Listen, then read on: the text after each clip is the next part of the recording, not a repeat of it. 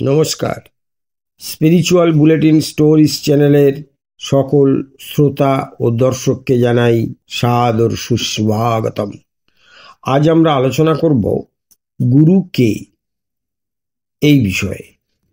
গুরু কে এই বিষয়ে স্বয়ং শ্রীরামকৃষ্ণ বলছেন, সচ্চিদানন্দই গুরু।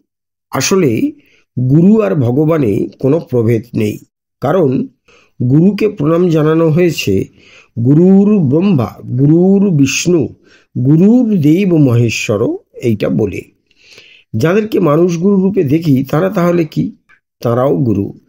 ভগবান স্বয়ং যেমন অবতার হিসেবে আসেন, আবার তেমনি মানুষের ভেতরেও তিনি প্রকাশিত হন। গুরু শব্দে গু কথার অর্থ অন্ধকার, আর রু কথার অর্থ হলো আলো। তিনিই গুরু, যিনি আমাদের অন্ধকারময় জীবনে আলো এনে দেন। এ আলো কিসের আলো? এ আলো হলো জ্ঞানের আলো। কোন জ্ঞান? জগৎ অনিত্য, সুখ অনিত্য, অর্থ সম্পদ, দেহ, মান, যশ, খ্যাতি সবই অনিত্য। একমাত্র ঈশ্বরের নিত্য। এই হলো জ্ঞান। এই জ্ঞান আমাদের মধ্যে সঞ্চারিত করেন গুরু। আমরা জগৎ সংসারের দিকে তাকিয়ে তার বৈচিত্র্য রূপ, রস, গন্ধ, স্পর্শ ইত্যাদিতে মোহিত হয়ে যাই।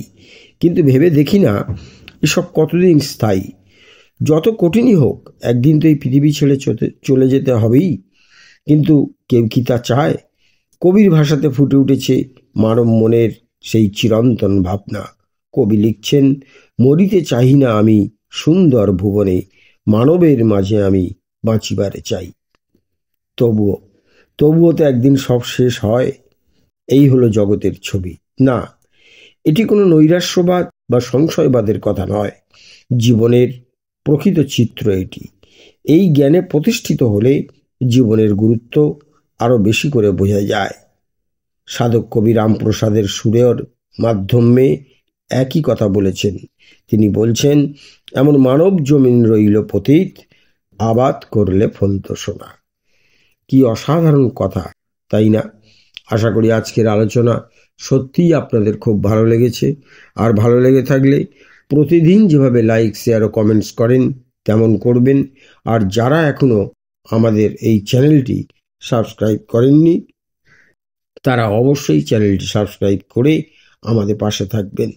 সকলে খুব ভালো থাকুন, আনন্দে থাকুন। নমস্কার, ধন্যবাদ।